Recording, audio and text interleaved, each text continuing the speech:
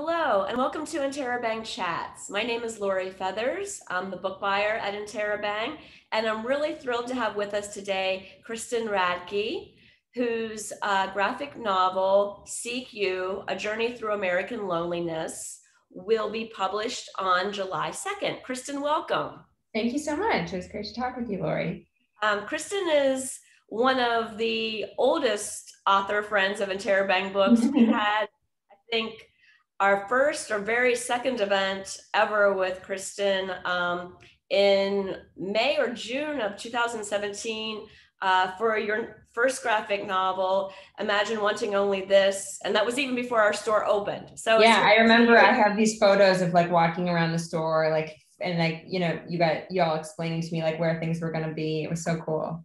But you probably know that that store existed and then it was blown away by a tornado. So mm-hmm. uh, we're in a different location entirely now. Um, but uh, the store is still going and blowing, and it's so nice to see you again. You too. Um, I was really very moved by this book. Um, and you say in the preface to the book that that you started writing this in 2016 mm-hmm. well before we ever had a glimmer in her eye, or a glimmer is probably too optimistic of a word, but the foreboding that there was going to be a global pandemic kind of coming upon us. And I wondered if you could just kind of talk to us a, a little bit about how it has kind of impacted the book to have a book about loneliness coming out now as we're starting to see, at least in the United States, um, a reopening of the country after a period of total, almost total shut in? Yeah, I, you know, I mean, the, obviously this was a really lonely time for a lot of people, the pandemic. I think that the pandemic was a sort of particular kind of loneliness because it was like an imposed isolation and there there was almost like I, I don't know. I think every community experienced differently, but there was also a kind of solidarity in that of like we were all in this really difficult thing together. So I feel like that's a different kind of that, that's different than some of the things I was investigating in the book about like chronic loneliness or about like American ideologies about loneliness. But I think it did remind us how much we really need each other. So I, I, I am interested in kind of thinking it through that lens, but I definitely um, you know, I had a lot of conversations with my agent and editor about should we should I talk about COVID in the book and all those things. And in the end, we decided to we didn't really necessarily want to make it a pandemic book. Uh, the book is um, I don't know. I thought of it in some places as a memoir because you talk about your own life and, and your family. Um, but there's an awful lot of research in the book as well. So I thought we'd just kind of take some of the big areas and, and, themes that you talk about in the book. And um, the book begins a little bit of a visit with your uncle and talking about some things that that you hadn't known about your father. Do you want to talk about that a little bit with us? Yeah. So I the book is called Seek You, and uh, in amateur radio, if you want to speak to somebody that you don't know, if you want to just like call out to anyone, it's called a CQ call, the letters C and Q and then over time people sort of called it a CQ call because it sounds so so similar. And so when my dad was a kid he i didn't know this until uh, you know i was a little bit older but when he was a kid he was really obsessed with ham radio. And he would call out like he would call out all night. He would make cq calls kind of all night and i thought this was a really beautiful thing for like a 10 11 12 year old to do because it's about a desire to make connection. And I, I it reminded me so much of you know i came of age in like very early internet at that same time. And so i was like in late night chat rooms like chatting with someone in new zealand or wherever. And and it was probably a kind of loneliness that drives you to to seek those relationships. Yeah. Um you then kind of turn to um your upbringing in the Midwest and being moved or moving yourself rather i guess to new york city and kind of how that changed your perception of being in a community and kind of having just a flood of people kind of at you all the time in public. Um, tell us a little bit about that Well, you know, there is this kind of like nuisance quality about living in a congested place. Like you just get, it's just like annoying and like you're hot all the time, even when you're cold. And like it's just everything is just like kind of frustrating and gross. And so you can find a way to really be annoyed by that, I think. I mean, it's interesting like reading those passages now when we have spent so long away from crowds. I almost have like a nostalgia for that gross feeling. But I think that when we see, you know, in New York and in major cities, particularly I think cities with like a bus system or a subway, when you get to see someone who's like in transit for a long time, you can kind of observe them in a way you wouldn't in a normal uh, other in a, in a different setting. Um, it's like a it's an interesting opportunity to to see each other and and kind of observe our habits, and that can be kind of like this beautiful thing. I think like it's easy to sort of see all those things as really lonely when you see someone who's like alone on the subway or alone on the bus or you know who's like eating alone or something like that. But I think also what I came to realize is that I was often projecting loneliness in those moments and I was just sort of like mirroring maybe what I was feeling at the time. The um the social history of community and isolation is something that I thought was just really remarkable, particularly, and, and I want to get to this um, a, a, bit later, but the fact that you have kind of um, coupled your prose with some really remarkable images because this is a graphic novel. Um, but one of the things that you talk about is how the world kind of shifted a bit after World War II. And we started seeing television sets and TV dinners, and suddenly um, a, lot of our world became what was happening within the walls of our homes.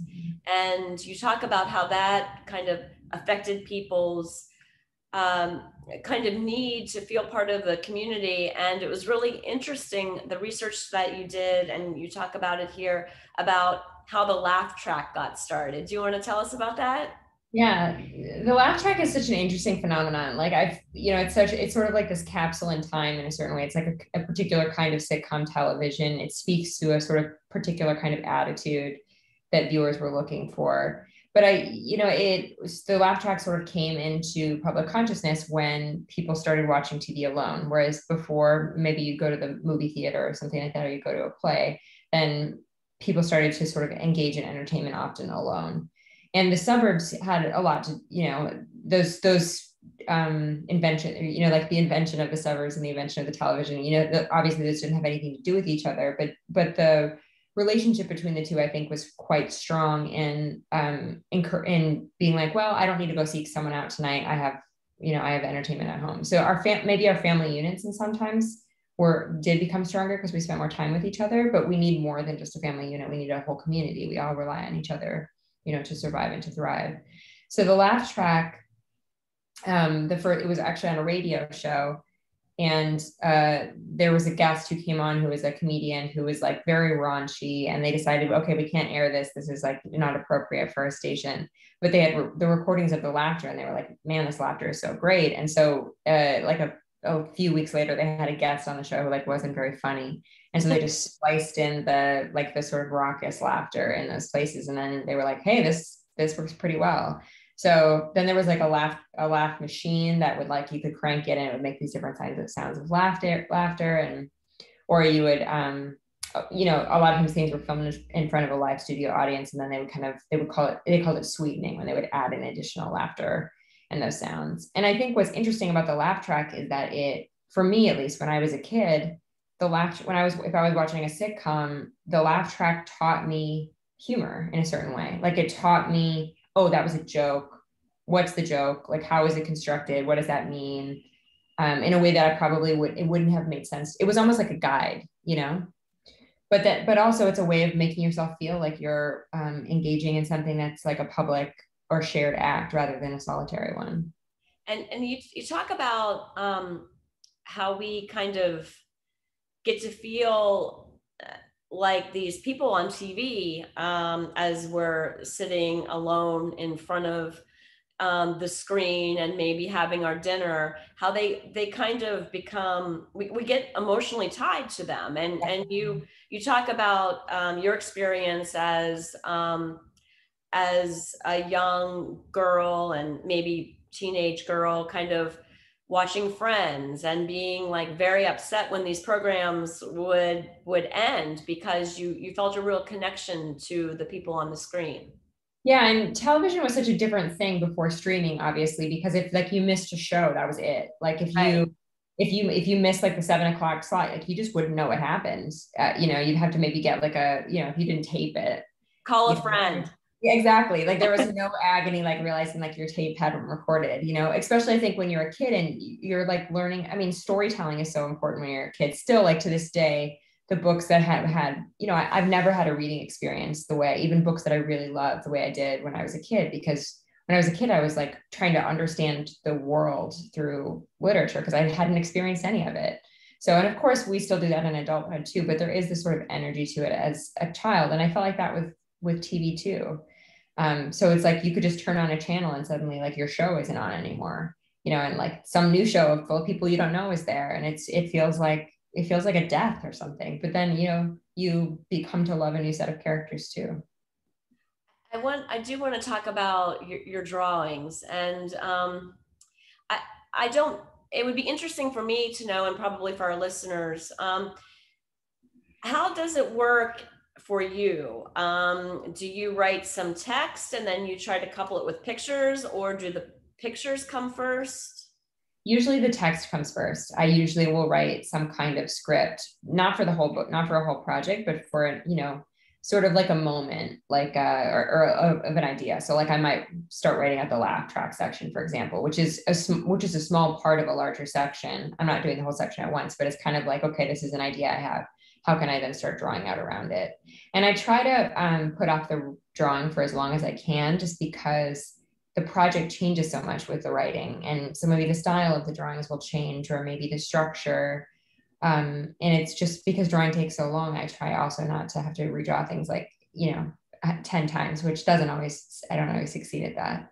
Um, so I kind of, I like to work back and forth in that way. I think that the the sort of the relationship between text and image is most interesting when you can kind of bounce back and forth between the two because they inform each other.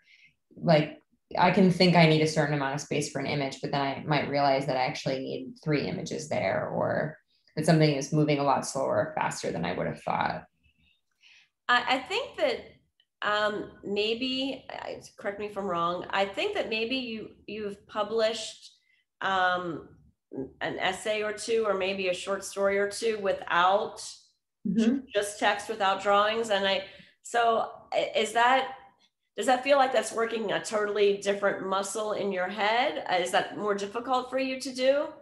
It's it's i mean writing is always difficult i think. Like writing to me is harder than drawing. I mean drawing is a lot of labor. It's a, it's probably more labor than writing because it takes me longer but it's not as intellectually draining as writing. Like I have to be very present when I'm writing, but I can, you know, like have a podcast on in the background or something like that, or like a sitcom on in the background, and and I can still draw.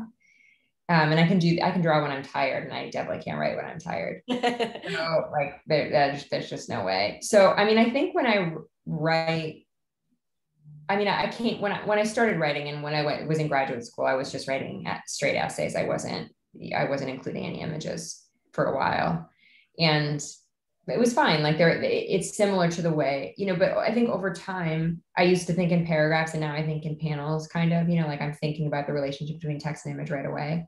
So when i write something in all prose i also have to write so many more words than i have to in with graphics which is that's really the agonizing part.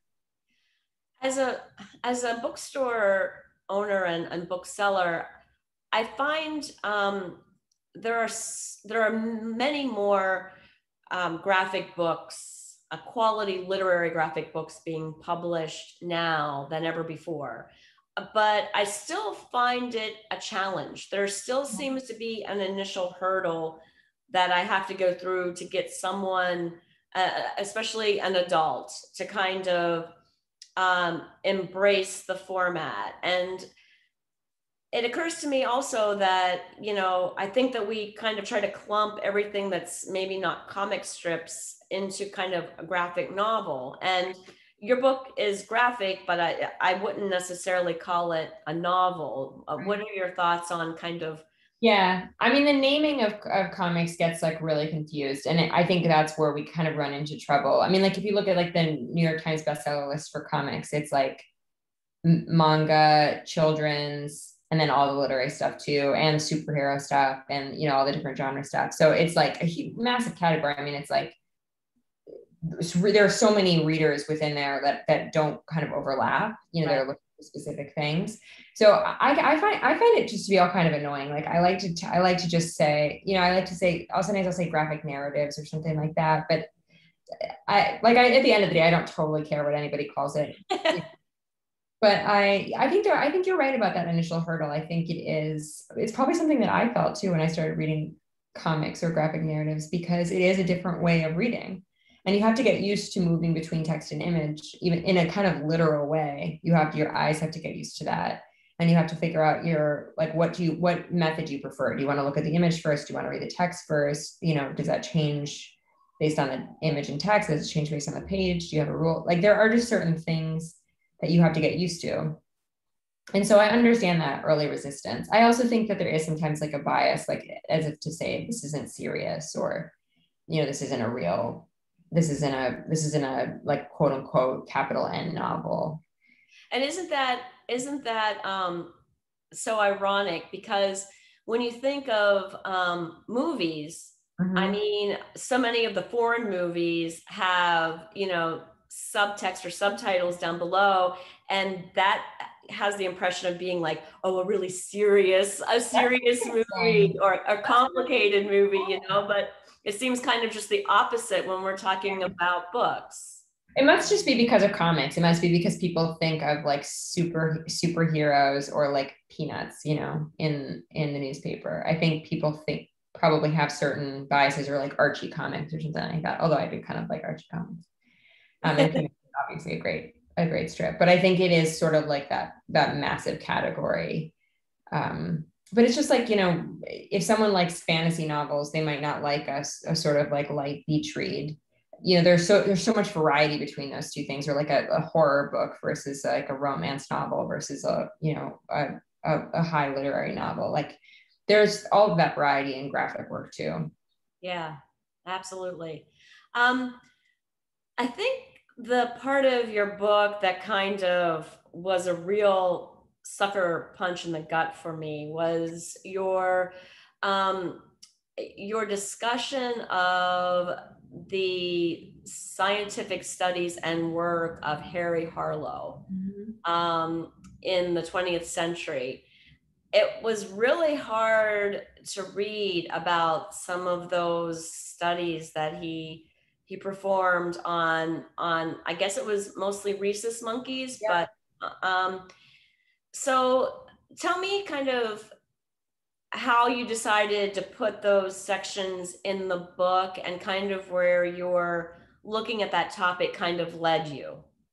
Yeah, I mean, so that's a, it's interesting that section. My, my, editor and I had a long conversation about that. He was like, this is, you know, this is difficult to read. Are you sure I don't want to pare it back? And I just felt so strongly about it because I just became so fascinated by him because he became kind of like this sort of like mad scientist type. So, you know, Harry Harlow is famous for his study of rhesus monkeys. He did something called the surrogate mother study, where he separated uh, baby m- monkeys from their from their mothers at birth, and then put them in cages with um, two inanimate fake mothers, and one was made out of wire, and one was made out of cloth.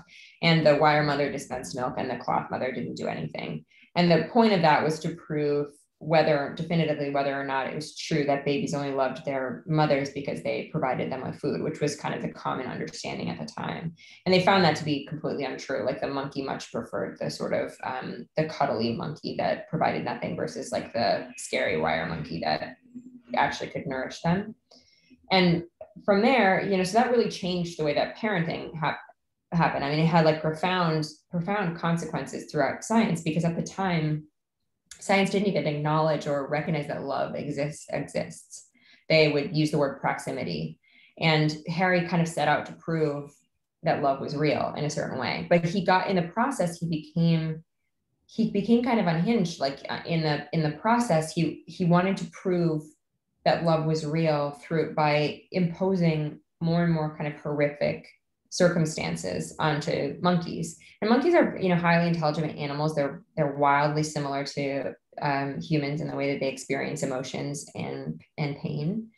And it was, it, you know, it's brutal the the things that he, you know, he put a monkey in complete isolation for over a year. Um, and then just observe what would happen and the you know cut to the results are are horrible um, and he just it was like he couldn't he he couldn't take the experiment far enough. He just wanted to see kind of how far he could push it. But meanwhile in his life he's getting more and more depressed. He's spending a lot of time in um, mental institutions. And uh, his his personal life is falling apart. And so I, I became kind of interested in this idea that he was kind of mirroring in the monkeys or trying to create in the monkeys the way he felt. And so i tried to have you know i think for i should, should just should just say for the record that I think Harry is a complete monster. He was, you know, very sadistic man. But I I I thought what would it be like to sort of render him write about someone who I think is did evil things? What if what would it would be like to write about them with love or with empathy? And so that's what I tried to do. Yeah, I thought it was really interesting how you you did very much and I, I could see the parallel as I was that as I was reading it. You know, he as as his experiments get darker and darker, he seems to be getting darker and darker and just going down this this this spiral himself. Um, and it, it it was it was hard to to read, but I think that you know I don't know. What do you think? Do you think that we would have continued on this path of thinking about love and parenting in kind of the wrong way for longer had he not done what he did?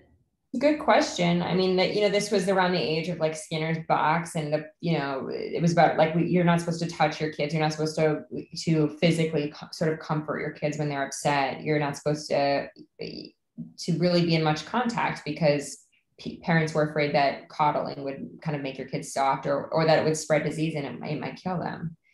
So I, you know, I have no idea. That that's a really interesting question.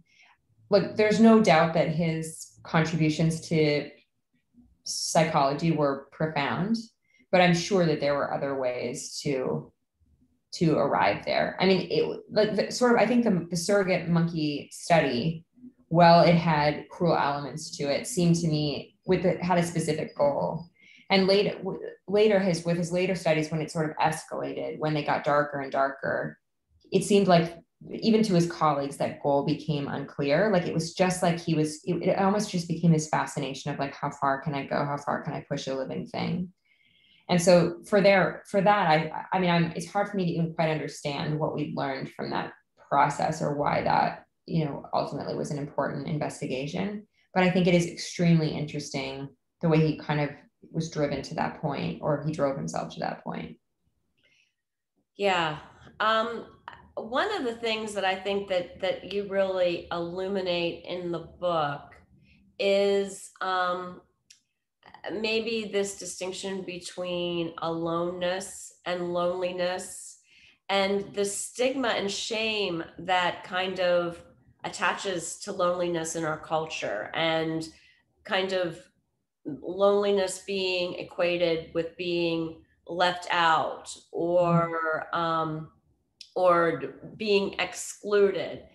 And um, obviously you know with um, the proliferation of bullying that we we've seen over the decades and the attempts in schools and even in, in grown up people's workplaces to kind of stop that kind of behavior um, I, I wonder, you know, kind of how far you think that we we kind of need to go as a society to kind of look at loneliness in the right and in a constructive and healthy way? I think we have a really long way to go. I mean, I think actually America has not at all confronted its its problem of loneliness. Like the former U.S. Surgeon General has called it one of America's most pressing health risks, and um, sociologists say it's going to be an epidemic by 2030. And America isn't the loneliest country in the world, but it's up there. Um, the UK also has really high rates of loneliness. Japan has really high rates of loneliness. It's it generally like the wealthier a country, the with some exceptions in Scandinavia, the the lonelier the country. And I think a lot of that has to do with physical proximity. Um, you know, it's a mark of having made it if you can afford your own apartment or your own house or a, you know a big yard that separates you from from other people. That's kind of like part of the this sort of like myth or ethos of the American dream is like space from other people. And cer- certainly there's a there's a world in which that really works well for some people. Some people like a lot of solitude, but I think it also does separate us from each other literally and emotionally. So I think we I think we have a ton of work to do there. I think also we fail to remember there's like this emphasis on self-sufficiency in America that I think is um, dangerous because it's not real. Like we actually, there's no such thing as self-sufficiency. We need each other to survive. Like we can't be our own doctors. We can't probably farm every single thing that we eat. Like we can't, you know, there we can't probably make all of our own clothes or or you know weave the fabric to make our own clothes. Like it's just not a possible thing. Like we we as human beings we're built to rely on each other and to need each other. So I think when we live in a you know, an age where everything is convenient and you can get something delivered to your door that day, but not, not have to really speak to anybody else. It creates this illusion that we're sort of in it alone or that we can take care of things ourselves, and we really can't. One of the terms that you use in the book, and I had never heard it before, so I don't know whether you coined it or not, but is skin hunger. And um, I'm a big hugger. Um, I guess I, I always have been. I'm not quite sure why, but um, COVID was horrible for me. you know, I just, I really, I really missed um, touching people, even if it's, you know, grabbing someone's hand or, um, and, you know, in the last few weeks when things have been opening up and I've been traveling a little bit, you know, I've, gone and seen some friends and they're like wow you're the first person that's hugged me that's not in my immediate family since covid. And i'm vaccinated i'll just say that. But um, there is this i think for maybe for everyone maybe some people have more elevated need for it than others. Um, but i think that there's there's got to be some um, some repercussions of what we've just lived through in the past 15 months over and above what you're saying in terms of our country's preparedness to deal with the epidemic of loneliness even before covid mm-hmm. but um, what do you see as kind of some of the, the, the challenges as we're trying to look to the future you know kind of psychologically that we're going to need to to overcome after this this really traumatic period we've been through I think we need to really overcorrect. Like, I think we need to throw all of our efforts into connecting with each other to to like you know there's that gum commercial where everyone's just like rolling around in the park like hugging and i do kind of feel like that you know i feel like there is this we sort of just need to all be in it together physically you know, and hugs are, you know, hugging is actually very, um, you know, I talked to a lot of touch therapists for the book and touching like physical touch is if we need it to survive, we like our immune systems start to fail when no one touches you. And it, and that doesn't have to be romantic at all. It's just a way to communicate like, Hey, I'm here. I care about you. We're, um, I'm, I'm another human person who, you know, you matter those things are really important. Um, like scientists have discovered, like if you hug your, if you have a partner or a friend in the morning, you hug for a minute a day, like you perform better at work, you know, things like that.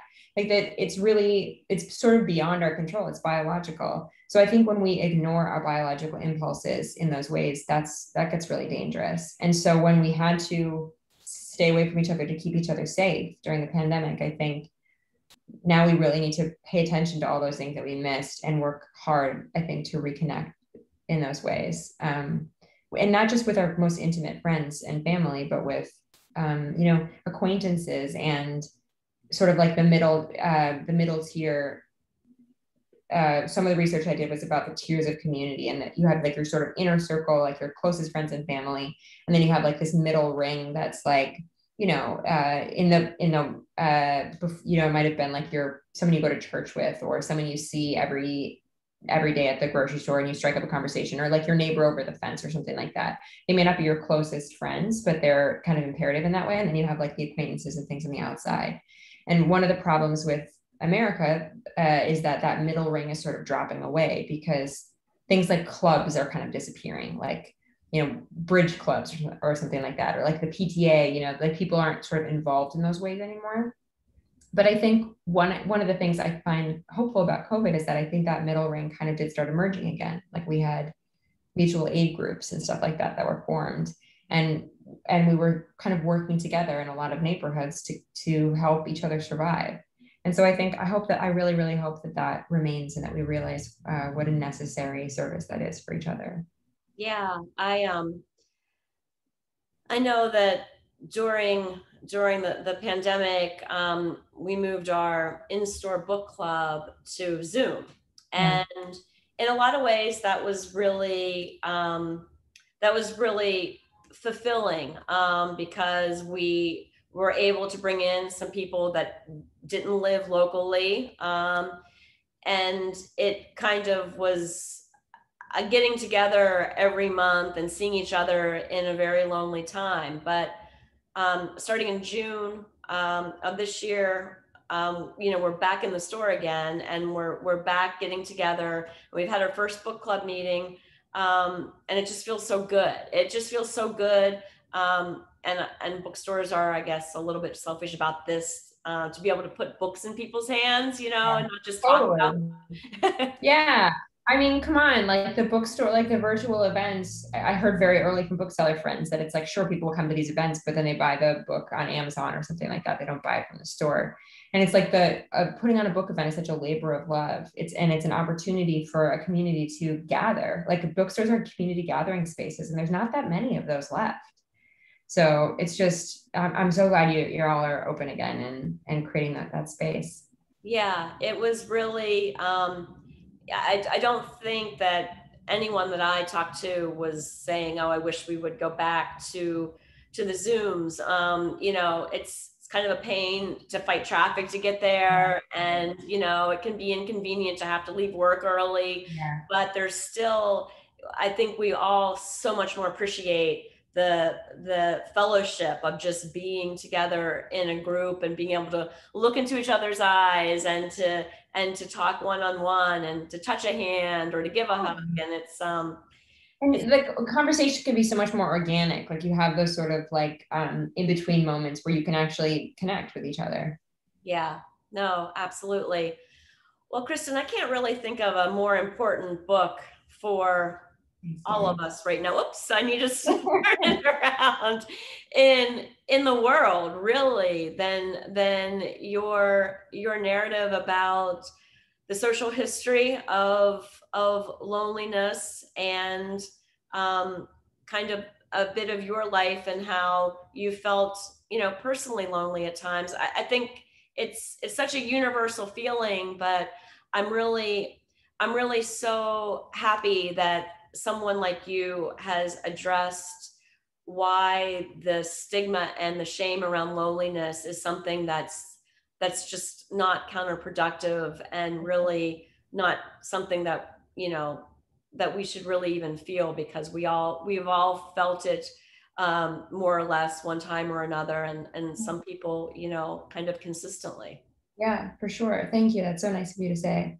Yeah i mean i guess my hope is that we all recognize that loneliness is a feeling that is meant to propel us back to each other. So we just have to learn to listen to it. Yeah. Well, thank you so much, Kristen, and very, very uh, warm wishes. It was so nice to see you again, and good luck with the book. Thank you. Thank, thank you, you so much. Take care. Thank you, Lori. Thank You.